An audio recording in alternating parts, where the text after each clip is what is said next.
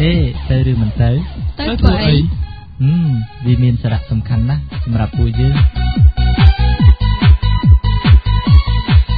កម្មវិធីនេះរៀបចំឡើងក្នុងគោលបំណងជំរុញយុវជនឲ្យចូលរួមក្នុងវិស័យនយោបាយជាពិសេសក្នុងដំណើរការបោះឆ្នោតប្រសិនបើយុវជនយុវនារីមានចំណាប់អារម្មណ៍ក្នុងកម្មវិធី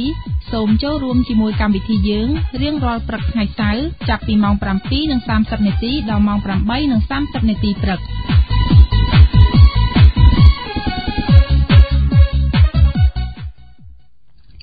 អរុនសួស្តីប្រិយមិត្តជាពិសេសមិត្តយុវវ័យអឺកម្មវិធីទៅឬក៏មិនទៅបានចូលខ្លួនមកអឺអឺផ្សព្វអឺផ្សាយដោយអឺសពមួយដងអញ្ចឹងគឺរៀងរាល់ព្រឹកថ្ងៃសៅរ៍វេលាម៉ោង7:30នាទីរហូតដល់ម៉ោង8:30នាទីព្រឹក ហើយសម្រាប់កម្មវិធីទៅឬក៏មិនទៅនៅក្នុងអឺសប្តាហ៍នេះ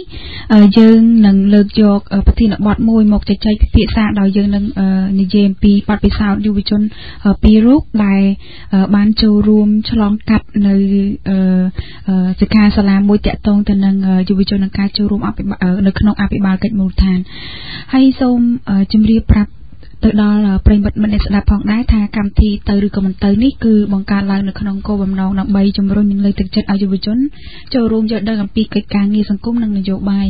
ហើយកម្មវិធីនេះគឺត្រូវបានរៀបចំផលិតដោយគណៈកម្មាធិការ Confrel សហការជាមួយនឹងគណៈកម្មាធិការយុវជនដើម្បីឲ្យដើម្បីឯកភាពនិងអភិវឌ្ឍ YCUD និងបណ្ដាញអង្គការសមាគមយុវជនចំនួន7ទៀតដែលក្នុងនោះរួមមាន មជ្ឈមណ្ឌលប្រជាពលរដ្ឋដើម្បីអភិវឌ្ឍនិងសន្តិភាព PDP Center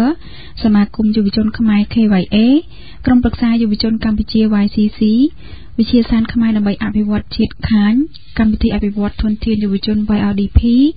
យុវសន្តិភាព YIP និងអង្គការយុវជនខ្មែរដើម្បីអភិវឌ្ឍសង្គម KYSD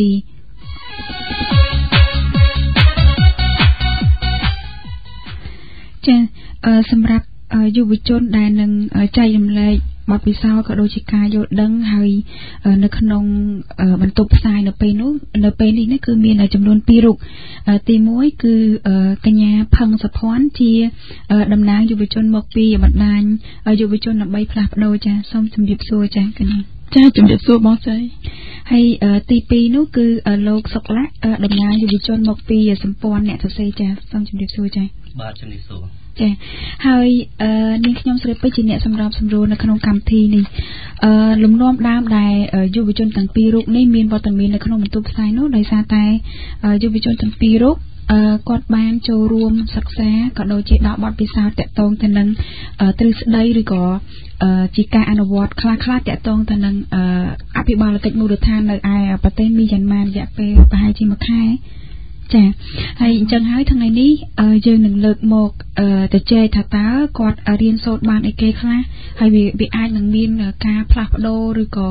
អឺវាមានភាពខុសប្លែកគ្នាយ៉ាងដូចម្ដេចទៅនឹងឧបករណ៍ឬមួយក៏អត្តន័យនៃការអនុវត្តទៅលើអឺការចូលរួមរបស់យុវជននៅក្នុងអភិបាលកិច្ចមូលដ្ឋាននឹងពីរវាងប្រទេសកម្ពុជាហើយនិងខាងប្រទេសភូមានឹង ហើយអឺប្រិមិត្តមិត្តអ្នកស្ដាប់អាចអញ្ជើញតាក់ទងតាមប្រព័ន្ធទូរស័ព្ទ3ខ្សែនៅក្នុងការចូលរួមកម្មវិធីនេះដើម្បីផ្ដល់ជាមតិយោបល់ឬក៏លើកឡើងអំពីការមើលឃើញរបស់ខ្លួនតាក់ទងទៅនឹងយុវជន ការចូលរួមរបស់យុវជននៅក្នុងដំណើរការវិបាលកិច្ចល្អនឹងហើយ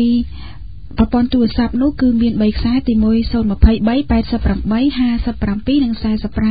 016 54 43 98 012 43 34និង37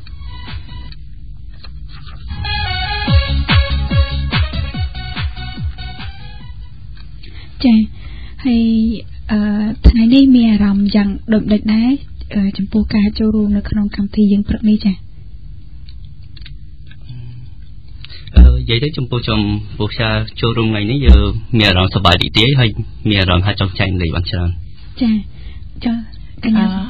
ខ្ញុំក៏មិនសូវខុសគ្នាប៉ុន្មានដែរមានអារម្មណ៍ថាបន្ទាប់ពីយើងបានរៀនសូត្ររយៈពេល1ខែយូរដែរហើយអញ្ចឹងយើងមានឱកាសមួយក្នុងការចែកម្លែកដល់ដល់មិត្តអ្នកស្ដាប់មានអារម្មណ៍សប្បាយរីករាយ អរគុណបងចា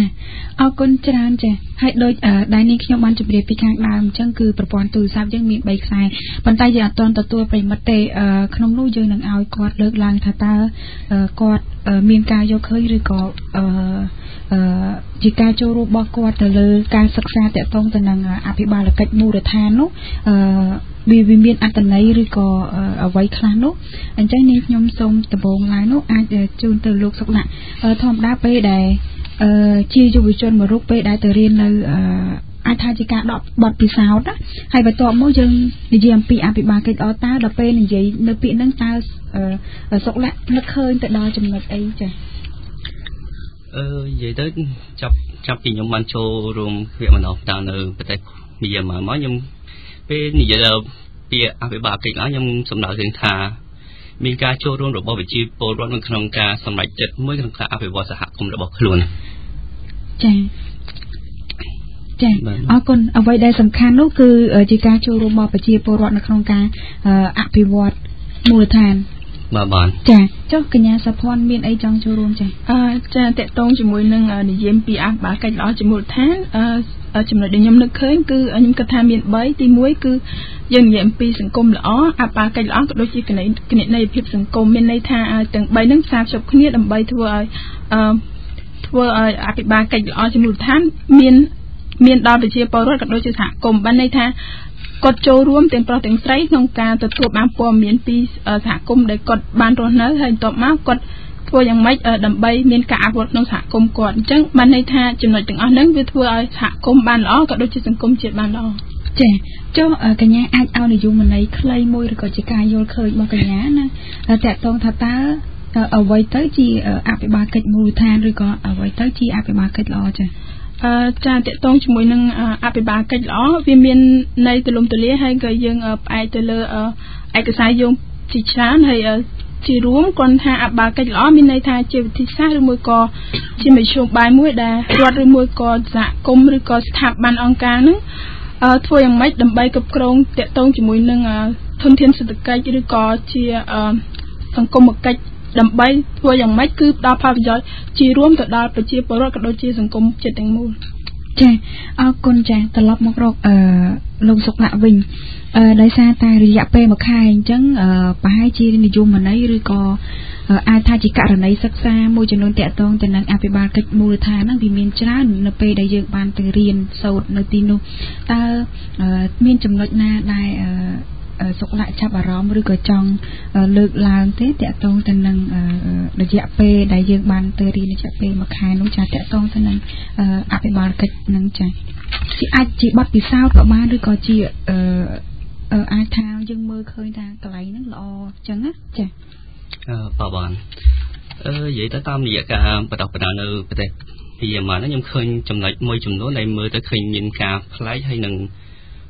គួរឲ្យចាប់អារម្មណ៍គឺថាទីមួយគឺខ្ញុំពេលពួកខ្ញុំទៅសិក្សាហ្នឹងឃើញខាងអ្នករៀបចំហ្នឹងបានបញ្ជូនពួកខ្ញុំទៅអឺរដ្ឋមួយដែលហៅថាអឺ AYD ដែលនៅនោះពួកយើងបានទៅអឺភូមិមួយដែលដាច់ឆ្ងាយពីកន្លែងគេហើយយើងឃើញថាអឺនៅភូមិនោះឃើញថាមាន ការផ្ដល់នៃសេវាកម្មសាធារណៈទៅដល់ប្រជាជនវាមាន អត់សូវបានល្អទេដែលពីមុនតាមប្រជាជននិយាយថាពីមុនពួកគាត់មានផ្លូវល្អទេគាត់មានអគិសនីទេហើយគាត់មានសេវាកម្មនានាដែលគាត់គ្រប់គ្រងឲ្យគាត់ទេប៉ុន្តែតាមរយៈការជំរុញរបស់យុវជនមួយដែលបានគាត់បានសិក្សានៅទីក្រុងយ៉ាងហ្គូននោះបានជំរុញឲ្យយុវជននោះបានធ្វើសកម្មភាពដើម្បីប្រមូលប្រជាជនដើម្បីមកពិភាក្សាគ្នាហើយគិតគូរថាតើពួកយើងត្រូវធ្វើយ៉ាងម៉េចដើម្បីធ្វើឲ្យមានសេវាកម្មសាធារណៈនៅក្នុងភូមិរបស់គាត់ បន្ទាប់ពីមានការវិភាសា ហើយមានគឺមានការធ្វើផែនការនោះมันពួកគាត់បានសម្រេច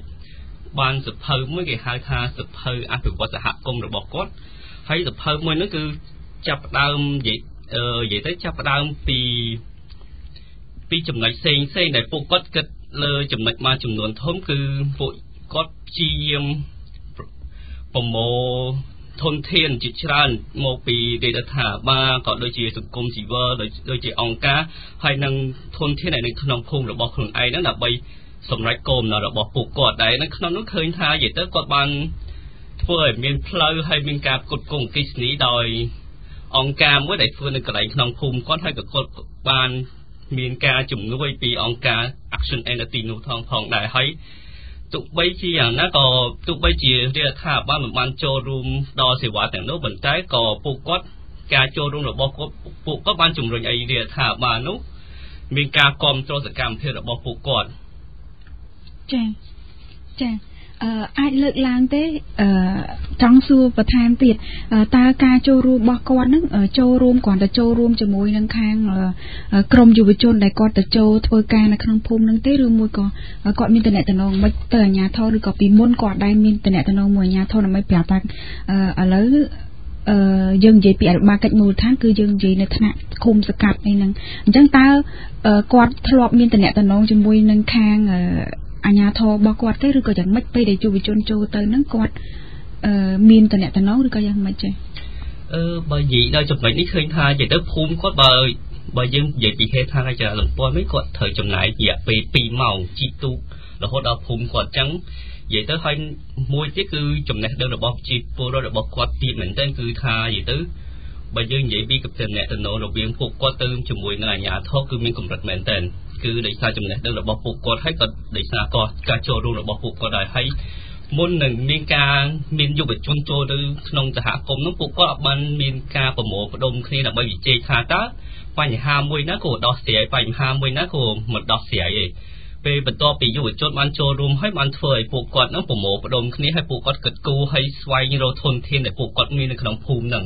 ហើយបន្ទាប់មកជាយាមយកសំណើឬក៏អ្វីដែលពួកគាត់នឹងទៅទៅតាក់ទង តាមអង្គភាពនានានៅទីនោះផងដែរចាអរគុណចាកញ្ញាសុផលមានអីចង់បន្តតកតងជាមួយនឹងថ្ងៃនឹងថ្ងៃយើងទៅសហគមន៍ហ្នឹង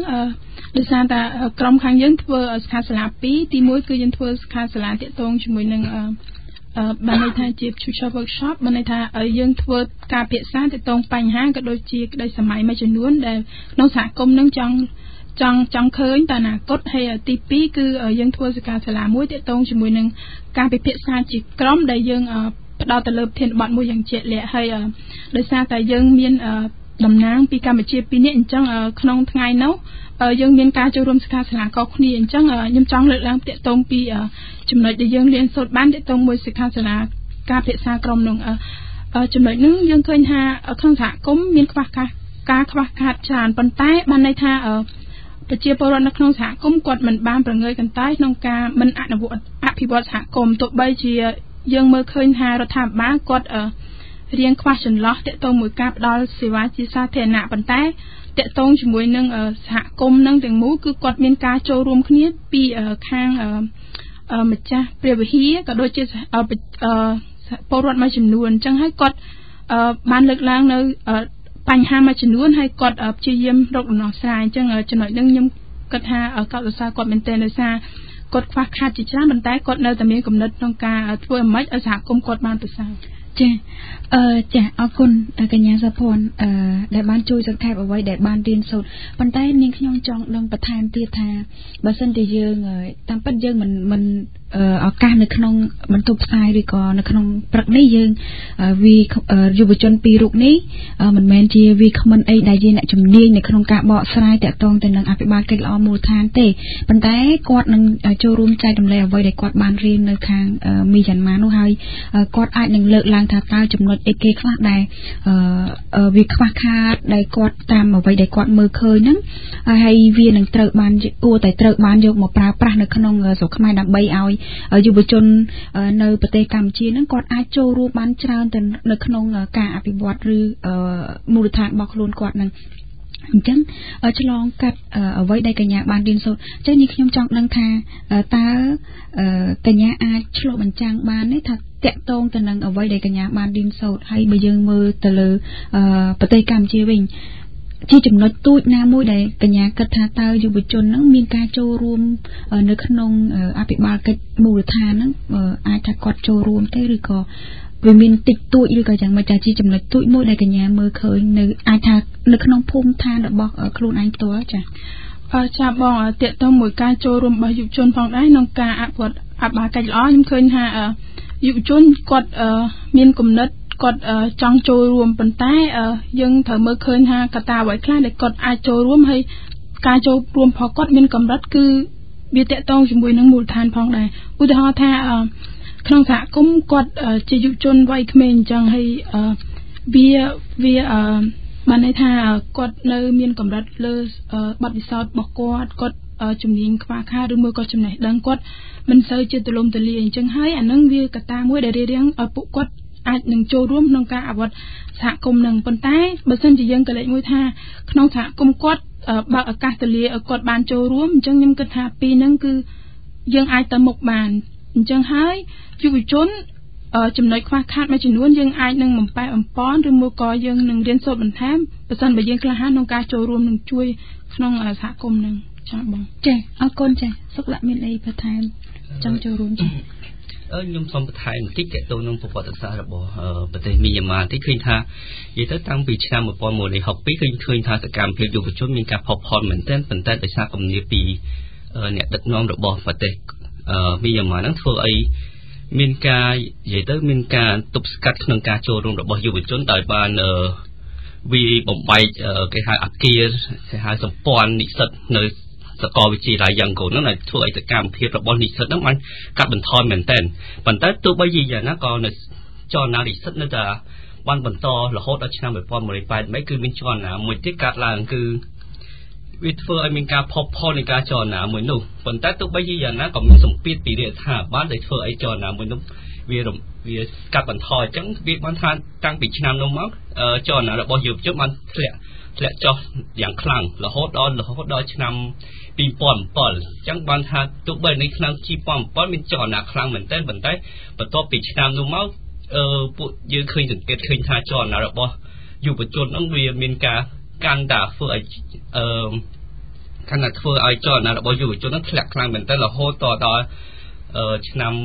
2008មានការផ្លាស់ប្ដូរនៅប្រទេសនេះបានថាធ្វើឲ្យអ្នកដឹកនាំនៅប្រទេសនោះបានថាគិតគូរឡើងវិញអឺដល់ឆ្នាំ2010ហ្នឹងគឺចាប់ដើមមានការកំណែតម្រង់ខ្លាំងគឺ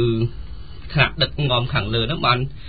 ជំរុញឲ្យយុវជនមានការចូលរួមឡើងវិញហើយក្នុងនោះដែរខ្ញុំឃើញសង្កេតឃើញថាចាប់ពីឆ្នាំនោះទៅឃើញមានការចលនារបស់យុវជនចូលរួមក្នុងការអភិវឌ្ឍប្រទេសអឺមានគួរឲ្យកត់សម្គាល់ផងដែរចា អរគុណច្រើនចាឥឡូវនេះនាងខ្ញុំសូមទុកឱកាសបន្តទៀតទៅដល់ប្រិមិត្តមិត្តអ្នកស្ដាប់មិត្តយុវវ័យចូលរួមនៅក្នុងកម្មវិធីនៅក្នុងពេលនេះផងដែរដែលប្រព័ន្ធទូរស័ព្ទហ្នឹងមាន3 40 23 88 57 45 016 54 43 98 012 43 34និង37 ចា៎ឥឡូវយើងបានភ្ជាប់ខ្សែទូរស័ព្ទហើយពីខ្សែ012 ហៅជំរាបសួរចាជំរាបសួរអនុញ្ញាតស្គាល់ឈ្មោះហើយអញ្ជើញខំមកពីខាងណាលោកចាអឺខ្ញុំវាសនាពីរស័យកែវបាទចាលោកវាសនាពីរស័យកែវចា មានអីចង់ចូលរួមឬក៏ជាសំណួរចាសូមអញ្ជើញចាអឺថ្ងៃនេះគេនិយាយពីអភិបាលកិច្ចល្អចាអភិជនចាចូលរួមនៅក្នុងសង្គមអញ្ចឹងហ៎ការចូលរួមរបស់យុវជននៅក្នុងអភិបាលកិច្ចមូលដ្ឋាន បាទបាទបាទចូលរួមរបស់យុវជនអត់ទៅកិច្ចមូលដ្ឋានចាជារួមបើសិនជាតាមកំណត់ខ្ញុំវិញយើងនិយាយតាមសង្គមប្រជាធិបតេយ្យនៅប្រទេសយើងប្រកាន់នៅរបបលទ្ធិប្រជាធិបតេយ្យសេរីភូមិបកបើសិនជាយើងនិយាយពីការចូលរួមជាចូលរួមក្នុងនយោបាយដូចជាសកម្មជនសហភាពផ្សេងផ្សេង ត្រូវតែមានសិទ្ធិទូទៅមិនថាយុវជនមិនថាជាស្ត្រីបរិសុទ្ធទេឲ្យតែអ្នកដែលមានអតកតេនិងមានឆន្ទៈនៅក្នុងសង្គមក៏ដូចជានៅក្នុងប្រទេសនីមួយៗត្រូវតែមានការចូលរួមទាំងអស់គ្នាពីព្រោះបើយើងនិយាយទៅតាំងពីបញ្ហាអឺចិត្តមូលដ្ឋានណាតកតងទៅនឹងដីធ្លីតាំងពីបញ្ហាសារៈបាស តកតងទៅនឹងនយោបាយនៅក្នុងសង្គមពីព្រោះនៅក្នុងរដ្ឋធម្មនុញ្ញគេបានចែងថាអឺអំណាចទាំងអស់គឺជាអំណាចរបស់រដ្ឋអញ្ចឹងតំណាងរាស្ត្របានអំណាចដែលសារតែរដ្ឋបោះឆ្នោតឲ្យអញ្ចឹងការចូលរួមអភិបាលកិច្ចល្អនៅក្នុងមូលដ្ឋាននេះគឺជាការល្អមួយដែលយើងឲ្យយុវជន មិនថាបរិសុទ្ធមិនថាស្ត្រីទេឲ្យតែមានអដងកតេឲ្យតែមានឆន្ទៈនៅក្នុងការដោះស្រាយបញ្ហានៅក្នុងសង្គមនៅក្នុងមូលដ្ឋាននីមួយៗទាក់ទងទៅនឹងសុខភាពទាក់ទងទៅនឹងសុខភាពរបស់ប្រជាពលរដ្ឋចេះដោះស្រាយបញ្ហាជូនប្រជាពលរដ្ឋគឺជាការល្អចា៎ប៉ុន្តែបើសិនជាយើងឲ្យសិទ្ធបើសិនបើសិនជាយើងឲ្យសេរីភាពទៅបើយើងមើលទៅសង្គមយើងសប្តាហ៍ថ្ងៃ បើយើងបំរើអ្នកដែលកាន់អំណាចទៅល្អយើងបញ្ចូលល្អបើយើងហាក់ខាងយើងបន្ទុកខាងប៉ុន្តែខ្លួនឯងអត់ទទួលខុសត្រូវទេចង់នៅតំបន់ណាខេត្តក្រុងណាមានបញ្ហាមិនអត់ទទួលខុសត្រូវទេបែរជាទៅទម្លាក់ដាក់អាជ្ញាធរមូលដ្ឋានខេត្តអាជ្ញាធរមូលដ្ឋានស្រុកទៅវិញប៉ុន្តែខ្លួនឯងអត់ទទួលខុសត្រូវប៉ុន្តែបញ្ហាចេញពីខ្លួនឯងណា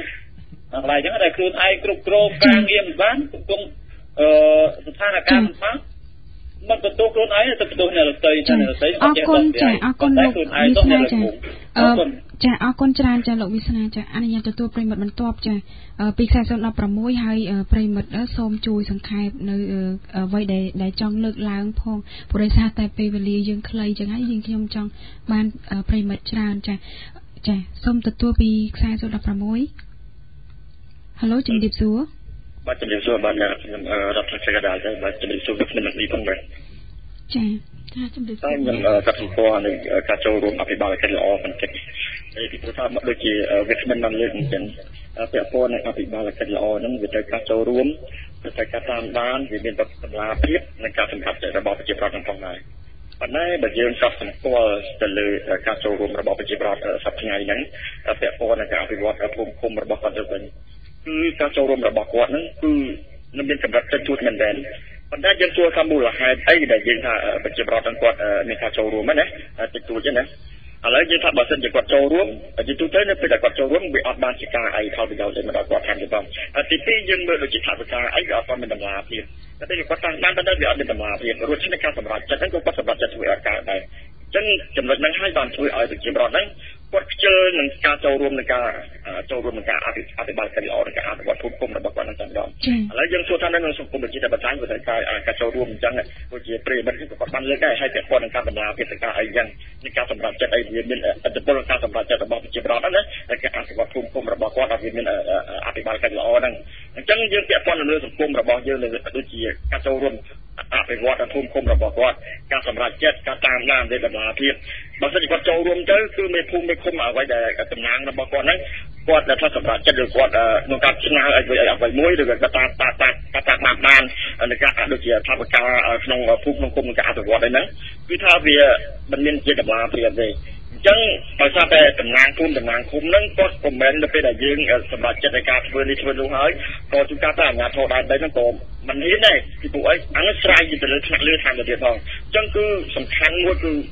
គាត់វិមតិការហ្នឹងបងដែរបើមិនយើងមិនទាន់មានវិមតិការទេវិមតិការអំណាចទេគឺប្រកបនោះគឺអភិបាលកិច្ចនោះគឺមិនទាន់បានល្អប្រសើរទេពីព្រោះតែយើងធ្វើអីមួយយើងនៅតែនៅសួរថ្នាក់លើនៅឡើយបើមិនជាថ្នាក់លើមិនមិនអនុញ្ញាតថ្នាក់លើមិនអោយជួយគឺជួយអត់កើតទេនៅប្រទេសគេខ្ញុំធ្លាប់ដឹងមួយជាមានមិត្តភក្តិខ្ញុំហ្នឹងគាត់ធ្វើការជាមួយអង្គការបរទេសផងដែរដូចជានៅសហរដ្ឋអាមេរិកអញ្ចឹងនៅរដ្ឋាភិបាលមួយមួយគេស្វែងចាំតាំងពីថវិកាខាងទៀតផងមានតែគេអភិវឌ្ឍនៅសហរដ្ឋអាមេរិកគឺមានស្ថាប័នធំៗទាំងពីរទេគឺក្រសួងការពារជាតិនិងក្រសួងការបរទេសចា៎ពីនោះគឺជាផ្ទេរវិមតិកម្មអំណាចគ្រប់សូមជួយសង្ខេបផងលោករដ្ឋាចា៎ចឹងចាត់ពេលចា៎ប៉ុន្តែសូមប្រាប់ថាបើសិនជាគ្មានវិមតិកម្មអំណាចផ្ទេរទេគឺអត់គ្មានអភិបាលកិច្ចល្អទៅដល់គាត់ជំរាបលាចា៎អរគុណច្រើនចា៎សម្រាប់ការចូលរួមហើយសូមទទួលប្រិមិត្តបន្ទាប់ទៀតពីខ្សែ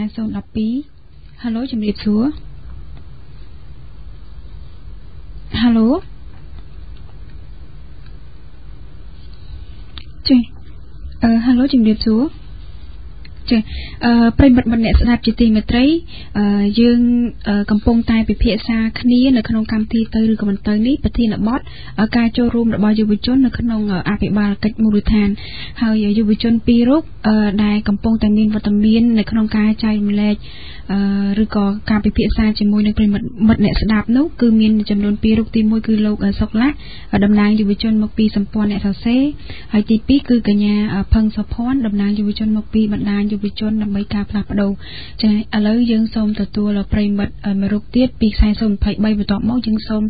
បង្វែរសំណួរខ្លះក៏ដូចជាការយល់ឃើញខ្លះរបស់យុវជនទាំងពីររូបត្រឡប់ទៅវិញសិនបន្តមកយើងនឹងទទួលប្រិមិត្តទៀតចាហៅឡូជំរាបសួរបាទអាឡូជំរាបសួរអរគុណអ្នកសម្របសម្រួលខ្ញុំចិត្តខលពីភ្នំពេញទៅចាលោកចិត្តចាបាទអរគុណសូមសួស្តីដល់ក្មួយក្មួយជីវិតក្មិនទាំងពីរផងបាទខ្ញុំសូមសួរបន្តិច ទៅពេលទៅដល់ភូមិហ្នឹងតើឃើញសេវាកម្មអឺអភិបាលកិច្ចបានថាគ្រប់គ្រងបំរើប្រជាពលរដ្ឋរបស់សេនាធិការរបស់រដ្ឋាភិបាលហ្នឹងវាយកលុយរបៀបម៉េចហើយពិធីការរបស់គេអញេអញៃទៅឆ្វេងទៅស្ដាំទៅលើទៅក្រោមទៅនេះទៅនោះដោយនៅស្រុកខ្មែរស្រុកថ្ងៃដែរទេហើយខ្ញុំសូមព្រាបនាបងប្អូនជនជាតិខ្មែរទាំងអស់ត្រូវដឹងថា ត្រាបោះត្រានៅស្រុកហាណូយហើយណាបងប្អូនហើយយើងដឹងហើយស្អីយុវជនយកលុយរត់ចំណាយឲ្យយុវជនធ្វើការក្រៅប្រព័ន្ធរដ្ឋាភិបាលដែលមានស្អីស្ថាប័នស្អីគ្រប់គ្រងដីដីហ្នឹងអត់ធ្វើតែឲ្យយុវជនទៅធ្វើហើយ ចេញกระដាស់ចេញអីឲ្យប្រជាពលរដ្ឋហើយឥឡូវយកដីប្រជាពលរដ្ឋហើយបំពេញប្រជាពលរដ្ឋយ៉ាងងងើយ៉ាងព្រៃផ្សៃអញ្ចឹងបងប្អូនត្រូវដឹងថាយើងគួរទុកឲ្យមនុស្សក្បត់ចិត្តនឹងនៅបំផ្លាញចិត្តដល់ណាធ្វើឲ្យយើងមានទុកលំបាកវេទនាដល់ណាទៀតចាចាហៅឡូចាហៅឡូលោកចិត្តលោកអាចចូលមកប្រធានបទបន្តិចវិញមកចាដោយសារវាហៀងហៀងហៀងចាក់ពីប្រធានបទតិចចា អាចជាការលើកទឹកចិត្តឬមួយក៏តើជាកត្តាអីខ្លះដែលយុវជនគួរតែចូលរួមនៅក្នុងអភិបាលកិច្ចមូលដ្ឋានចាវានឹងផ្ដល់ប្រយោជន៍អីគេខ្លះដល់ពួកគាត់ឬក៏សហគមន៍ពួកគាត់ចាលោកអាចមានជាការយល់ឃើញឬក៏ចូលរួមចាសូមជើញបាទការចូលរួមរបស់យុវជនខ្ញុំយល់ហើយថាយុវជនចង់ណាស់ចង់ចូលរួមណាស់តែយើងចូលរួមនៅតាមថ្នាក់មូលដ្ឋានប្រៀបដូចជាបំបីកម្លាំងអញ្ចឹងអញ្ចឹងសំខាន់បំផុតគឺយើងត្រូវចូលរួមគ្នាដើម្បីកំចាត់មនុស្សក្បត់ជាតិឲ្យបានជាមុនសិនដើម្បីរៀបចំប្រទេសយើងឡើងវិញ យុវជនត្រូវតែដឹងត្រូវតែរួមកម្លាំងគ្នាឲ្យបានកំចាត់មនុស្សក្បត់ជាតិដេរឆានចេញពីប្រទេសអរគុណច្រើនចាស់លោកចិត្តសម្រាប់ការចូលរួមឥឡូវនេះយើងទទួលបានប្រិមិត្ត3រូបហើយហើយជាស្័យប្រិមិត្តផងដែរដោយសារតែយើងមានពេលវេលាខ្លីចឹងហើយអាចថាប្រិមិត្តមួយរូបមួយរូបនោះយើងអត់អាចទទួលបានច្រើនទេអឺមានន័យថាអត់អាចទទួលបានអឺ មានន័យថាឲ្យបញ្ចេញមតិបានច្រើនទេអញ្ចឹងហើយឥឡូវដោយសារតែមានសំណួរអឺមានសំណួរមួយដែរតាក់ទងទៅនឹងលោកចិត្តមិញជាការជាការឆ្លើយតបទៅនឹងសំណួរនេះតើយុវជនទាំងពីររូបយើងអាចមើលឃើញតែចំណុចណាមួយដែលដែលយើងធ្លាប់បានសិក្សាទៅបានហើយព្រោះយើងមិនអាច មើលទៅលើទូទៅនៅក្នុងប្រទេសមីយ៉ាន់ម៉ាឬប្រទេសអីហ្នឹងបានទេដោយសារតែយើងទៅរយៈពេលមួយខែហើយគ្រាន់តែទៅសិក្សានៅក្នុងសហគមន៍មួយអញ្ចឹងយើងអាចមើលនៅក្នុងសហគមន៍ហ្នឹងទៅតើក្រោយពីការចូលរួមនៅក្នុងអភិបាលកិច្ចហ្នឹងហើយនឹងមុនពេលវាមានការផ្លាស់ប្ដូរយ៉ាងម៉េចខ្លះតកតងទៅនឹងការផ្ដល់សេវាទៅដល់ជូនទៅជូនទៅពលរដ្ឋចាអាចសុំពីសុកលៈមុនចាបាទបាទអឺខ្ញុំសុំលើកពី ចំណុចដែលពួកដែលខ្ញុំបានទៅឃើញនៅក្នុងភូមិដែលពួកខ្ញុំទៅឃើញថានិយាយទៅបើយើងប្រៀបធៀបពីការផ្ដល់សេវាកម្មពីរាជរដ្ឋាភិបាលរហូតដល់ភូមិហ្នឹងគឺលក្ខណៈមិនខុសគ្នាពីប្រទេសកម្ពុជាទេគឺថាអឺសេវាមួយចំនួនធំដែលសេវាចាំបាច់ដូចជាការអប់រំដូចជាសេវាសុខាភិបាលហ្នឹងហើយនឹងហេដ្ឋារចនាសម្ព័ន្ធវាពិតជាមានកម្រិតមែនទែនដល់ភូមិហ្នឹងគឺស្ទើរតែអឺ ទើតែសេវាកម្មទាំងអស់គាត់មិនអាចទទួលបានទេចាដោយសារតែភូមិឃុំនោះវានៅឆ្ងាយដាច់ស្រយាលពីគេពេកឬមួយក៏ដោយសារតែនៅចិត្តដែរប៉ុន្តែរដ្ឋាភិបាលឬក៏អាជ្ញាធរនឹងអត់យកចិត្តទុកដាក់ចាអឺនិយាយទៅដោយសារតែភូមិនោះវានៅឆ្ងាយពីគេពេកហើយណាមួយវាអត់ទាន់ស្ថិតនៅក្នុងតំបន់គេហៅថាអតិភិបនៃការអភិវឌ្ឍរបស់ប្រទេសគេចាអញ្ចឹងវាធ្វើឲ្យសេវាកម្មមួយចំនួនអត់ទាន់ទៅដល់កន្លែងគេទេចាចា ចុះការចូលរួមរបស់ប្រជាពលរដ្ឋសុកលៈបានលើកឡើងពីខាងមុនខ្លះហើយដែរចាអឺនិយាយទៅឃើញថានិយាយទៅដូចខ្ញុំនិយាយតាំងពីដើមចឹងឃើញថាទោះបីជាសេវាកម្មសាធារណៈឬក៏ការខំពីវិរិយរដ្ឋាភិបាលឬក៏អាជ្ញាធរនទីនោះមិនមានកម្រិតក៏ដោយប៉ុន្តែនៅតែសេវាកម្មសាធារណៈមួយចំនួនត្រូវបានធ្វើឡើងដល់ប្រជាជន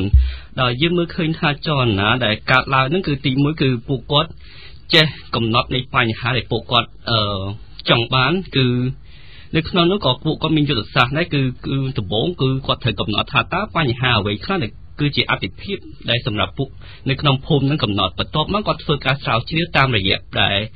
អឺមិត្តរបស់ខ្ញុំលើកឡើងគឺគឺពួកគឺពួកគាត់ធ្វើគេហៅថាជួឈើ workshop ឬក៏គេហៅថាសិក្ខាសិក្ខាសាលាអនាគតដែលប្រមូលផ្ដុំ មនុស្សនៅក្នុងភូមិនោះមកជុំគ្នាហើយបន្ទាប់មកពិភាក្សាគឺនៅក្នុងការពិភាក្សាហ្នឹងគឺមាន3ដំណាក់កាលដែលខ្ញុំបានចូលរួមជាមួយពួកគាត់ពេលពួកខ្ញុំទៅដែរគឺទី1ដំណាក់កាលទី1គឺពួកគាត់កំណត់បញ្ហាថាតើហើយនៅចំណុចខ្វះខាតនៅក្នុងភូមិគាត់ថាតើចំណុចណាខ្លះឬក៏ភាពប្រឈមណាខ្លះដែលពួកគាត់នឹងនឹងជួបប្រទះអញ្ចឹងគាត់លើកពីភាពស្មោះត្រង់របស់គាត់គាត់លើកពីបញ្ហាជាច្រើនគឺ បើតាមខ្ញុំការសង្កេតឃើញនេះបញ្ហាដែលគាត់លើកឡើងគឺវាស្ទើរតែជិតជិត30ឯណោះអញ្ចឹងបន្ទាប់ពីគាត់រកឃើញបញ្ហាហ្នឹងហើយគាត់ចូលដំណាក់កាលទី2គឺគាត់កំណត់នៃស្ដីសម័យរបស់គាត់ហើយនឹងតម្រូវការរបស់គាត់គឺតាមការវិភាគសាររបស់ក្រមរបស់ពួកគាត់ហ្នឹងគាត់ឃើញថាស្វែងរកឃើញថាអ្វីដែលគាត់ចង់បានហ្នឹងវាច្រើនមែនទែនវាសឹងតែប្រហាក់ប្រហែលនឹងបញ្ហារបស់គាត់គឺស្ទើរតែវាសឹងតែ30ទៅ40នៃអ្វីដែលពួកគាត់ចង់បាន ចឹងបន្ទាប់ពីហ្នឹងគាត់បានប្រមូលមតិគ្នាចូលរួមថាតើទៅបញ្ហាហើយនឹងនឹងតម្រូវការទាំងអស់ហ្នឹងតើពួកគាត់ចង់បានអីគេដូចជាឃើញនៅក្នុងនោះគាត់លើកឡើងពីគុណភាពអឺសាលារៀនដែលនៅក្នុងនោះឃើញមានតាសាលា2បឋមសិក្សា2ហើយនឹងអនុវិទ្យាល័យមួយប៉ុណ្ណោះប៉ុន្តែពួកគាត់តម្រូវការថាចង់មានវិទ្យាល័យទៀតហើយគេហៅថាសេវាសុខាភិបាលក៏មានកម្រិតហើយការគ្រប់គ្រងភ្លើងហ្នឹងក៏មានកម្រិត ហើយការគ្រប់គ្រងផ្នែកជារាសាស្ត្រសម្រាប់ស្រ័យស្របកសិកម្មហ្នឹងក៏មានកម្រិតអញ្ចឹងពួកគាត់ចាប់ផ្ដើមគិតគូរថាតើបញ្ហាមួយណាសំខាន់ហើយនឹងដំណើរការមួយណាសំខាន់ក៏នៅចុងក្រោយហ្នឹងក៏គាត់កំណត់ឃើញថាបញ្ហាដែលសំខាន់ជាងគេគឺពួកគាត់ខ្វះទឹកស្អាតអញ្ចឹងពួកគាត់ក៏រួមរួមមតិគ្នាដើម្បីធ្វើផែនការថាធ្វើមិនដើម្បីគាត់បានទឹកស្អាតជាងក៏គាត់បានកំណត់ឃើញថាប្រជាជនគាត់គាត់មានកម្លាំងអញ្ចឹងអ្វីដែលគាត់ហើយណាមួយគាត់មានដីគាត់មានកន្លែងជីកស្រះ ហើយចឹងអ្វីគាត់ចាំបាច់គាត់ត្រូវការតថាវិការបន្ថែមទៀតទេហើយបាទនៅក្នុងភូមិគាត់នឹងគាត់អាចប្រមូលថវិកាបាន1ភាគ3អញ្ចឹងវាត្រូវការតែ2ភាគ3ទៀតដើម្បីសម្រេចគោលបំណងរបស់គាត់ចូលតកតងទៅនឹងការចូលរួមកំណត់ផែនការឬក៏កំណត់អតិភិបនៅបញ្ហាទាំងអស់នឹងហើយរហូតឈានទៅដល់បានផែនការមួយដែលគាត់គិតថាជាអតិភិបបំផុតគឺបញ្ហាទឹកស្អាតនឹងតើមានការចូលរួមពីអាជ្ញាធរពាក្យព័ន្ធនៅទីនោះដែរទេហើយពួកគាត់មានការតំណតំណងគ្នាយ៉ាងដូចម្ដេចដែរ អឺបើតាមការសង្កេតឃើញហ្នឹងឃើញថាអឺអ្នកដែលជំរុញខ្លាំងជាងគេគឺយុវជនដែលគាត់បានទៅរៀននឹងហើយនឹងអង្គការពាក់ព័ន្ធហើយនឹងមានផ្ទះវិហារមួយនៅទីនោះគឺគឺអ្នកគាត់គឺអ្នកជំរុញខ្លាំងមែនទែនបើចំពោះអាញាធរវិញគាត់គ្រាន់តែនៅអាចថានិយាយអីនេះទៅគាត់គ្រាន់នៅមួយខាងមួយឯងសឹងតែការចូលរួមរបស់គាត់សឹងតែគ្មានគ្មាននិយាយទៅ ភាគច្រើនគឺចាការចូលរួមទាំងច្រើនបំផុតគឺយុវជនហើយព្រះវិហារហើយនឹងអង្គការដែលគាត់សម្រាប់ស្មើទីនោះយុវជនភាគច្រើនអឺអ្នកដែលយើងសិក្សាពីបណ្ដាប្រទេសផ្សេងផ្សេងគាត់ទៅចូលរួមលើកទឹកចិត្តនឹងឬមួយក៏យុវជននៅក្នុងសហគមន៍នឹងផ្ទាល់អឺនិយាយទៅគឺយុយុវជនក្នុងសហគមន៍ផ្ទាល់ហ្នឹងដែលគាត់បានពាក្យបដោះបដាពីអង្គការដែលជួយសម្របសម្រួលនៅទីនោះ ចាអរគុណច្រើនចាសាផនមានអីចង់លើកឡើងចាសូមចាចាកន្លែងហ្នឹងជាចំណុចអមួយដែលយើងអាចអនុវត្តបានបានន័យថាទោះបីជាមានការប្រងើយកន្តើយឬក៏មិនយកចិត្តទុកដាក់ខ្លាំងពីរដ្ឋាភិបាលប៉ុន្តែយើងឃើញថាក្នុងសហគមន៍មួយអាចនៅតែអាចរស់រានបានបានន័យថាក្នុងសហគមន៍ហ្នឹងគាត់មានកម្លាំងស្រាប់ហើយគាត់មានការម្ដុំម្ដាលជួយជំរុញពីអង្គការមួយចំនួនអញ្ចឹងចំណុចខ្លះយើងមិនចាំបាច់អឺទៅដល់ ចាំរដ្ឋាភិបាលនឹងការផ្ដល់ឲ្យតែក្នុងសហគមន៍ហ្នឹងគឺរួមគ្នាដើម្បីធ្វើវាប្រសើរអញ្ចឹងដូចខាងឧទាហរណ៍លើកឡើងហ្នឹងគឺបញ្ហាមួយចំនួនត្រូវបានកាត់បន្ថយបើសិនជាគាត់មិនគាត់រងចាំហើយគាត់មិនដោះស្រាយបានន័យថាគាត់នឹងជួបបញ្ហាហ្នឹងតទៀត ចាអរគុណច្រើនចាកញ្ញាសាភ័ណ្ឌអឺតែនេះខ្ញុំចង់បន្ថែមទៅទៀតដោយសារតែបើយើងនិយាយអំពីអភិបាលកិច្ចមូលដ្ឋាននោះប្រហែលជាមានធាតសំខាន់សំខាន់ច្រើនដើម្បីអភិវឌ្ឍក៏ដូចជាយើងនឹងខ្លាយទៅជាសូចនាករដើម្បីវាស់ថា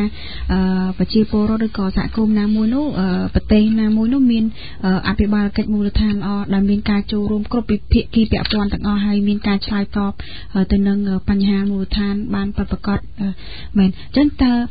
កញ្ញាអាចលើកឡើងដោយត្រួសត្រាសទៀតទេតកតងទៅនឹងធាតរបស់វាណាព្រោះមិញនោះយើងនិយាយនោះគឺនិយាយរហូតទៅដល់ការបកស្រាយប៉ុន្តែយើងចង់ឥឡូវនេះលើកឡើងពីអឺចម្បងចម្បងចាធាតចម្បងចម្បងចាសូមជិះចាអរគុណបងបើយើងនិយាយអំពីធាតមួយចំនួនដែលមាននៅក្នុងអបាកិច្ចល្អទី1គឺយើងនិយាយដល់ការចូលរួមហើយការចូលរួមហ្នឹងគឺយើងមិនប្រកាន់ថា បុរសស្ត្រីឬមួយអង្គការក្រៅរដ្ឋាភិបាលឬក៏ដៃគូពាក់ព័ន្ធមួយចំនួនមានន័យថាការចូលរួមទាំងអស់អញ្ចឹងហើយក្នុងដំណើរការការចូលរួមហ្នឹងក៏វាមានពីរធំធំដែរបានន័យថាយើងអាចចូលរួមដោយផ្ទាល់ឬក៏មិនផ្ទាល់តើអាការចូលរួមដោយផ្ទាល់ហ្នឹងយ៉ាងដូចម្ដេចចូលរួមដោយផ្ទាល់ហ្នឹងបានន័យថាទី1នៅក្នុងសហគមន៍ឬក្នុងប្រទេសទាំងមូលបានន័យថាយើងមាន យើងជាប្រជាពលរដ្ឋដែលមានអាយុ18ទៅយើងមានសិទ្ធិក្នុងការបោះឆ្នោតហើយអញ្ចឹងអានឹងជាការចូលរួមមួយហើយក្នុងសហគមន៍ផងដែរក៏គាត់អាចចូលរួមនៅក្នុងគណៈបកនយោបាយបើនេះគាត់អាចចូលឈ្មោះឲ្យគេបោះឆ្នោតឬក៏គាត់អាចបង្កើតជាសហគមន៍ឬក៏ជាសមាគមអីអាហ្នឹងសិតតែជាការចូលរួមដោយផ្ទាល់របស់គាត់ហើយតាកតងជាមួយនឹងការចូលរួមមិនផ្ទាល់បានន័យថាយើងមានអ្នកតំណាងប្រចាំសហគមន៍យើង អ្នកតំណាងហ្នឹងបានន័យថាយើងយើងវាកើតចេញពីការអឺកើតចេញពីការប្រងព្រៀងក៏ដូចជាតែងតាំងពីក្នុងសហគមន៍ហ្នឹងអញ្ចឹងគាត់ឈរក្នុងសហគមន៍ហ្នឹងគឺធ្វើការដើម្បីបម្រើឲ្យផលប្រយោជន៍សហគមន៍ហើយតទៅមួយអាខាងហ្នឹងគឺយើងត្រូវក្នុងសហគមន៍ក៏ត្រូវតែមានត្រូវតែមើលឲ្យច្បាស់លាស់ថាតើអ្នកតំណាងដែលយើងជ្រើសរើសហ្នឹងមានគុណសម្បត្តិលក្ខណៈសម្បត្តិអ្វីដែលអាចធ្វើការងារក្នុងសហគមន៍នឹងបានហើយ ខ្ញុំឃើញថាកន្លែងវិធីសាស្ត្រដែលយើងជួយឲ្យមានការចូលរួមហ្នឹងគឺបានន័យថាប្រជាពលរដ្ឋឬក៏តំណាងទាំងអស់ហ្នឹងធ្វើយ៉ាងម៉េចគឺអឺផ្សព្វផ្សាយបានន័យថាគាត់ផ្ដល់ព័ត៌មានឲ្យដិតដល់ទៅដល់សហគមន៍ហ្នឹងអឺតាកតងជាមួយព័ត៌មានហ្នឹងព័ត៌មានជាច្រើនក្នុងសហគមន៍ដែលបានកើតឡើងទាំងព័ត៌មានអវត្តសហគមន៍ឬព័ត៌មានផ្សេងផ្សេងដែលបម្រើដល់សហគមន៍ហ្នឹងហើយចំណុចទី2គឺយើងនិយាយទៅដល់ដូចជាអឺ បានន័យថានីតិរដ្ឋនីតិរដ្ឋក្នុងអបាកិច្ចអហ្នឹងវាមានវាវាផ្ដោតទៅលើច្បាប់បានន័យថាក្នុងហ្នឹងយើងមានមានគោរពច្បាប់ មានការការពារសិទ្ធិមនុស្សឬក៏ប្រព័ន្ធខុសត្រូវមួយចំនួនហើយចំណុចចំណុចមួយទៀតគឺយើងនិយាយដល់ដំណាភាពអឺតកតងជាមួយពាក្យដំណាភាពបានន័យថារាល់ការសម្រេចចិត្តឬក៏អនុវត្តអ្វីមួយគឺ គឺវាអនុលោមទៅតាមបទដ្ឋានឬក៏ជាគោលការណ៍ឬក៏ជាច្បាប់ដែលមានបានដែលបានចែងហើយតកតងជាមួយព័ត៌មាននឹងការសម្រេចចិត្តហ្នឹងខ្ញុំគិតថាយើងត្រូវតែមានការផ្សព្វផ្សាយជាចំហឬក៏ជាសាធារណៈហ្នឹងហើយចាបងចាអឺហើយតកតងជាមួយនឹងទី4គឺមានន័យថាប្រងព្រៀងជាឯកភាពអាហ្នឹងខ្ញុំចង់សម្ដៅថាអឺយើងយើងពិចារណាឲ្យទូលំទូលាយនឹងវែងឆ្ងាយទៅលើផលប្រយោជន៍ ផលប្រយោជន៍ជាទូទៅអញ្ចឹងហើយយើងមើលថាតម្រូវការអ្នកដែលពាក់ព័ន្ធនឹងថាគុំហើយយើងឈានទៅដល់ការសម្រេចចិត្តមួយដែលយើងព្រមព្រៀងលើការសម្រេចចិត្តនឹងដោយមានសម្លេងគ្រប់គ្រងជារួមចា៎ចាហើយនៅមានចំណុចជាច្រើនទៀតតែខ្ញុំសង្ខេបត្រឹមប៉ុណ្ណឹងបងចាអរគុណច្រើនចាឥឡូវនេះយើងសូមអនុញ្ញាតទទួលប្រិមិត្តប្រហែលជាអាចបាន3រូបទៀតដែរប៉ុន្តែប្រិមិត្តមួយរូបមួយរូបនោះសូមបើ លើកឡើងខ្លីៗបានហើយទៅនឹងអ្វីដែលដែលខ្លួនចង់លើកឡើងឬក៏អាចមើលឃើញបញ្ហាទូទៅតាក់ទងទៅនឹងអភិបាលកិច្ចមូលដ្ឋានការចូលរួមរបស់យុវជននៅក្នុងអភិបាលកិច្ចមូលដ្ឋានហ្នឹងហើយអាចលើកឡើងពីបញ្ហាប្រឈមហើយឥឡូវនេះយើងនឹងនិយាយបន្ទាប់ថាគួរធ្វើម៉េចដើម្បីឲ្យគាត់នឹងបានចូលរួមឲ្យបានច្រើនឲ្យអាជ្ញាធរបើកចិត្តទូលាយនៅក្នុងការឲ្យយុវជនចូលរួមដើម្បីឲ្យយុវជននឹងគាត់មានឆន្ទៈចូលរួមពិតប្រាកដពិតមែនហើយវាមានភាពងាយស្រួលនៅក្នុងការចូលរួមចាសូមទទួលពីខ្សែ016 Halo ជំរាបសួរ Halo ជំរាបសួរចាជំរាបសួរអនុញ្ញាតស្គាល់ឈ្មោះហើយអញ្ជើញខលមកពីខាងណាចាខ្ញុំពីភ្នំពេញតែឈ្មោះសំណាងជំរាបសួរវាគ្មិនទាំងពីរនៅក្នុងផ្ទៃផ្សាយនិងអ្នកសម្របសម្រួលផងបាទចាប្រធានបទមួយនេះខ្ញុំគិតថាល្អមែនទែនសម្រាប់ឲ្យយុវជនយើងសិក្សាពីបទពិសោធន៍ទាំងឡាយរួមទាំងអ្នករតីក៏ដូចជាខ្លួនឯងដែរដែលថាប្រទេសយើងមានបទពិសោធន៍មិនខ្លះថាដាក់ទៅមុខយ៉ាងម៉េចណា ខ្ញុំគិតថាសម្រាប់ការលើកឡើងរបស់វាគ្មិនគឺបងប្អូនអាចដាក់ទៅពិចារណាបន្តិចថាវាគួរតែទាញបទពិសោធន៍កន្លែងណាដើម្បីយកមកប្រើបានជាប្រយោជន៍ខ្ញុំថាសម្រាប់ការចូលរួមមួយណាវាគ្មិនលើកឡើងចឹងគឺត្រូវតែមានកាតព្វកិច្ចចូលរួមនៅក្នុងរឿងនយោបាយនៅក្នុងរឿងសង្គមជាតិបើសិនថាអត់មានការចូលរួមច្បាស់ណាស់បើថាផ្ទះមួយទាំងមូលនោះមានសមាជិក10នាក់តែក៏អត់មានអ្នកធ្វើការសោះ មានតែម្នាក់ធ្វើឧទាហរណ៍ណាថាមានតែអ្នកដឹកនាំធ្វើ9អ្នកទៀតថាខ្ញុំជាសមាជិកទេខ្ញុំជាវិជាប្រសាមញ្ញទេរឿងសង្គមរឿងនយោបាយជារឿងរបស់អ្នកអតីតទេទីបំផុតទៅចានឆ្នាំងកៅអៅរួមជាមួយនឹងអនាម័យនៅក្នុងផ្ទះក៏ទៅមិនរួចដែរអញ្ចឹងមានថាទៀមទាការចូលរួមទាំងអស់ហើយអាហ្នឹងគឺស្ថាប័នតូចដូចជាផ្ទះប៉ុន្តែប៉ុន្តែបើបើនិយាយពីស្ថាប័នរដ្ឋធំវិញគឺទាមទារនឹងការចូលរួម ប៉ុន្តែចូលរួមលក្ខណៈដោយឡែកមួយទៀតអញ្ចឹងបើសិនជានិយាយពីការចូលរួមគឺពីនិយាយពីគុណភាពនៃអ្នកចូលរួមមួយទៀតព្រោះថាបើសិនជាចូលរួមតែមានត្រឹមតែបរិមាណប៉ុន្តែអត់មានគុណភាពក៏អត់មានការចូលរួមមួយដែលប្រកបដោយប្រសិទ្ធភាពថាចង់បានវត្ថុបំណងណា ថាចង់ឲ្យមានការចូលរួមមួយដែលឲ្យមានការអភិវឌ្ឍក្នុងភូមិឃុំក៏ខ្ញុំគិតថាតើរួចដែរខ្ញុំថាបញ្ហានៅការអភិវឌ្ឍនៅមូលដ្ឋានណាគឺមានបញ្ហាធំបំផុតមួយគឺនៅស្រុកខ្មែរយើងអត់មានការសម្រេចចិត្តអីដូចជាកាត់ដាច់កាត់ដីកាត់អីហ្នឹងទោះតែហេតុឲ្យបានកាត់អត់បានពេលដែលកាត់ហើយមានបញ្ហានាំពាក្យមិនដឹងនាំមកដល់ថ្នាក់នេះលងយុរ៉ាន់ស្រីមកផ្ទះលងយុរ៉ាន់ស្រីអញ្ចឹងណាខ្ញុំគិតថាបញ្ហាធំបំផុតគឺនៅដូចប្រិមិត្តយើងលើកឡើងចឹងគឺអត់មាន វិមាជការទៅដល់ថ្នាក់ក្រមកន្លែងនេះខ្ញុំចង់ប្រើពាក្យមួយម៉ាត់ទៀតគឺអញ្ញាធរថ្នាក់មូលដ្ឋានហ្នឹងគាត់គ្មានឯករាជ្យភាពមួយមានន័យថាគាត់បានរងសម្ពាធពីថ្នាក់លើរបស់គាត់ណារាល់ការងាររបស់គាត់តាមន័យត្រឹមត្រូវការងារមួយហ្នឹងគឺត្រូវបានគាត់ត្រូវទទួលខុសត្រូវទទួលខុសត្រូវប៉ុន្តែបែរជាខ្លាយជាការងារហ្នឹងសម្រាប់ថ្នាក់លើទទួលខុសត្រូវគាត់សម្រាប់ចរិតបានដល់ពេលអញ្ចឹងបញ្ហាហ្នឹងខ្ញុំគិតថាទោះបីជាមានការចូលរួមច្រើនប៉ុន្តែគឺត្រូវបានរៀបរៀងព្រោះអីរងសម្ពាធពីថ្នាក់លើថ្នាក់ជាតិអញ្ចឹងខ្ញុំខ្ញុំប្រៀបធៀបថា រឿងទាំងពីរនេះណាទៅដូចកង់មុខកង់ក្រោយចឹងគឺម្នាក់ត្រូវប្រឡែងមកម្នាក់ទៀតអាចទុកទៅអញ្ចឹងការងារខ្លះគឺត្រូវផ្ដល់ឲ្យជាពិសេសគឺសូមបញ្ជាក់ថាគឺធ្វើម៉េចឲ្យមានឯករាជ្យភាពដល់ថ្នាក់មូលដ្ឋានហើយភាសាមួយនឹងអាចប្រើបានម្យ៉ាងទៀតថាវិមជ្ឈការថ្នាក់មូលដ្ឋានហ្នឹងឯងដើម្បីបែងចែកការទទួលខុសត្រូវខ្ញុំគិតថាដល់កន្លែងនេះគឺអាចធ្វើមានការចូលរួមនិងមានការវិវត្តហើយសូមជម្រាបប៉ុណ្ណឹងទេអរគុណជំរាបលាបាទចាអរគុណលោកសំណាងសម្រាប់ការចូលរួមអនុញ្ញាតទទួលប្រិមិត្តមួយរូបទៀតពីខ្សែ012 Halo ជំរាបសួរ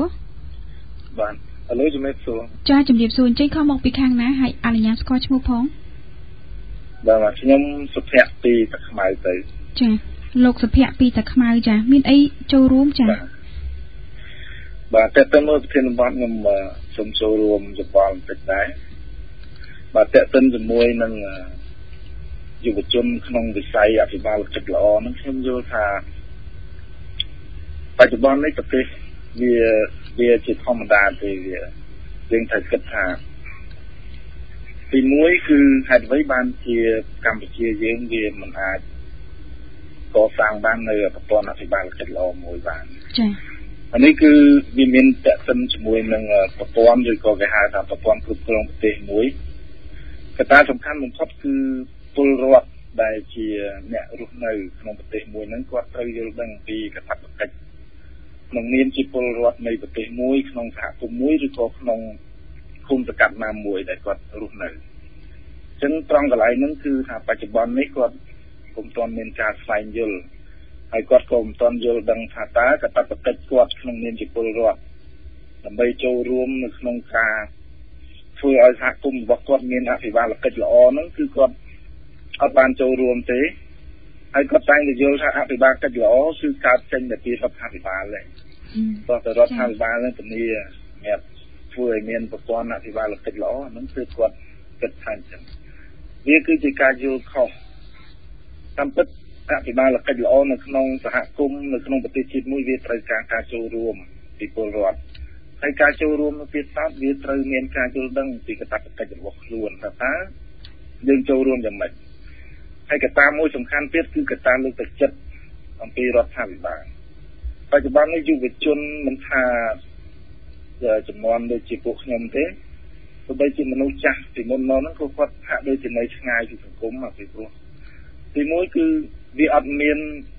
កន្លែងដែលគាត់ត្រូវចូលរួមហើយស្ថាប័នរដ្ឋនីមួយនីមួយហ្នឹងគាត់ហាក់ដូចជាមានការរឹតបន្តឹងណាស់មិនដឹងថាតើគាត់ត្រូវទៅចូលរួមចំណែកនៅណាហើយទី2គឺប្រព័ន្ធធានា ខ្ញុំឧទាហរណ៍មួយឧទាហរណ៍ដូចជាអំពើហិង្សាក្នុងគ្រួសារមួយចោះចាអឺលោកសុភ័ក្រជួយសង្ខេបផងដោយសារពេលវេលាយើងខ្លីហើយមានតែមកចាំរងដូចជាអំពើហិង្សាក្នុងគ្រួសារមួយឃើញគ្រួសារមួយមានចំនួនកើតឡើងអ្នកផ្សេងជួនកាលគាត់អត់ហ៊ានចូលជួយទេពីព្រោះថាថ្ងៃក្រោយអាចករឿងដល់គាត់នេះវាឆ្លុះបញ្ចាំងឲ្យឃើញថាតើសង្គមរបស់យើងវាត្រូវការអភិបាលកិច្ចល្អយ៉ាងម៉េចបើពលរដ្ឋនីមួយៗគាត់អត់ រួមចំណែកគាត់អត់យល់ដឹងពីកាតព្វកិច្ចក្នុងនាមជាពលរដ្ឋរបស់គាត់ហ្នឹងអញ្ចឹងវាត្រូវការចូលរួមដោយការយល់ដឹងយល់ដឹងដំបូងគឺយល់ដឹងថាតើគាត់មានកាតព្វកិច្ចយ៉ាងម៉េចនៅក្នុងការកសាងប្រទេសជាតិជាពិសេសសហគមន៍ដែលគាត់រស់នៅបាទអញ្ចឹងខ្ញុំសូមចូលរួមយោបល់ប៉ុណ្ណឹងទៅអរគុណច្រើនអរគុណច្រើនលោកសុភ័ក្រពីតែខ្មៅចាអនុញ្ញាតទទួលប្រិមិត្តមួយរូបទៀតអាចថាជាប្រិមិត្តចុងក្រោយចាពីខ្សែ023ហាឡូជំរាបសួរហាឡូជំរាបសួរខ្ញុំ ឈ្មោះមេទូរស័ព្ទពីសុកស្អាងទៅចាលោកមៀកពីស្អាងចាមានអីចូលរួមចាបាទខ្ញុំចូលរួមជាមួយបងស្រីវាខ្មិនមិញអឺនិយាយពីធាតធាតចម្បងនេះនេះអភិបាលកិច្ចរនៅមូលដ្ឋានហ្នឹងទី1គឺការចូលរួមទី2នីតិរដ្ឋនិងទី3តម្លាភាពអញ្ចឹងយើងកលេចមើល អឺគោលចម្បងចម្បងនៃអភិបាលកិច្ចនៅមូលដ្ឋានហ្នឹងចាការចូលរួមហ្នឹងយើងឃើញថាពលរដ្ឋយើងវាខ្វះការចូលរួមចូលរួមហ្នឹងតិចបំផុតហើយចូលរួមហ្នឹងមិនតាន់យើងតាន់និយាយថាចូលរួមត្រូវឬខុសទៀតហើយចំពោះនីតិរដ្ឋក៏អញ្ចឹងនីតិរដ្ឋបានន័យថាយកច្បាប់មានច្បាប់មកទាំងអស់គ្នានៅក្នុងប្រទេសទាំងមូលដ្ឋានទាំងថ្នាក់ជាតិហ្នឹង ហើយតម្លាភាពតម្លាភាពបានន័យថាភាពថ្លាភ្លឺនៅនៅតាមដូចថាឧទាហរណ៍កិច្ចការងារឃុំអញ្ចឹងយើងអាចឆែកបាននៅក្នុងឃុំតាំងពីសេដ្ឋកិច្ចតាំងពីការអភិវឌ្ឍអីហ្នឹងបើយើងនិយាយពីគោលនិធិតចូលរួម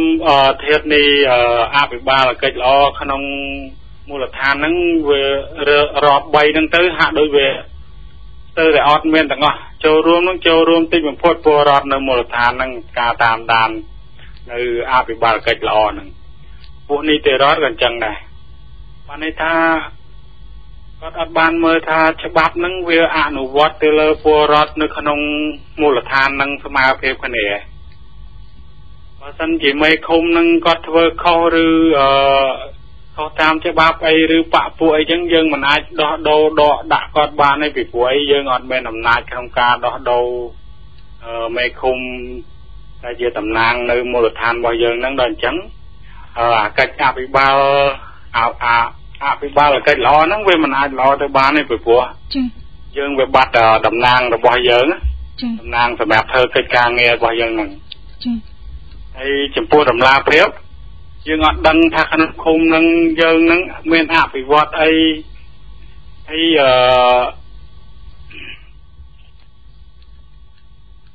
ឺ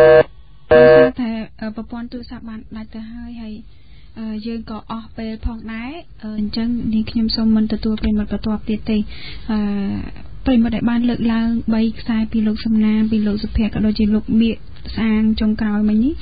ភិកច្រើនគាត់អត់មានជាសំណួរទេប៉ុន្តែគាត់លើកឡើងអំពី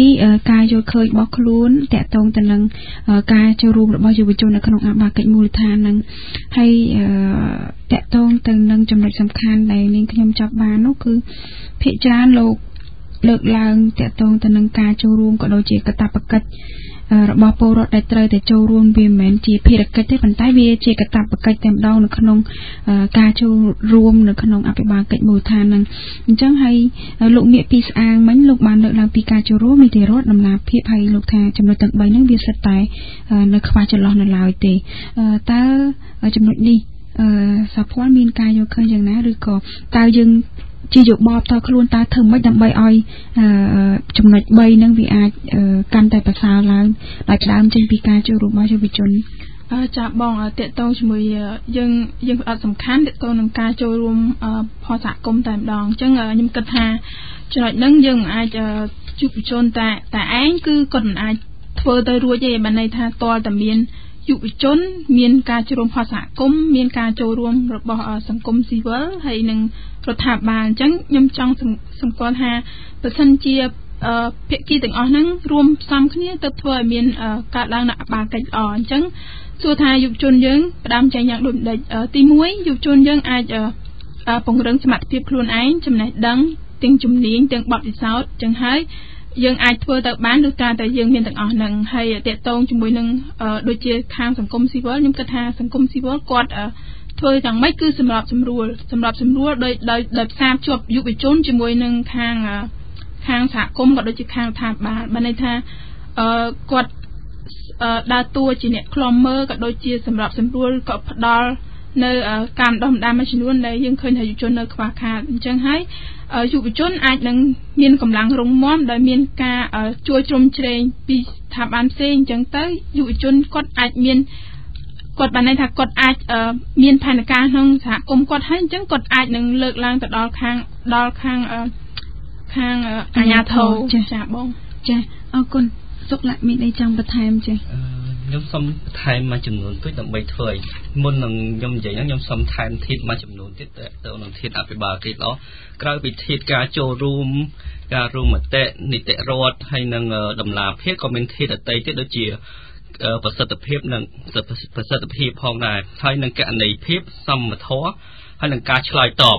ការឆ្លើយតបនោះគឺការឆ្លើយតបរៀលថាមកនឹងការចូលរួមនឹងអស់អញ្ចឹងដើម្បីធ្វើឲ្យធាតទាំងអស់ហ្នឹងវា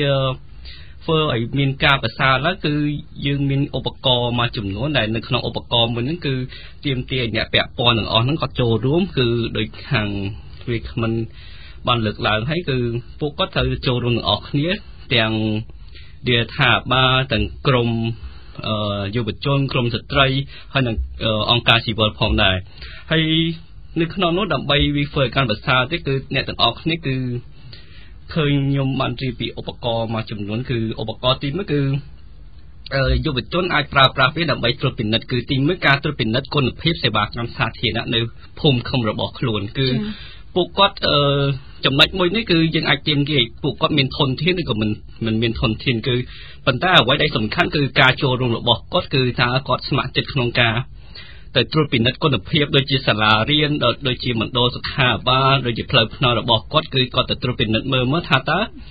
អឺចំពោះគុណភាពនិងចំនួននោះវាយ៉ាងម៉េចដែរអញ្ចឹងគាត់អាច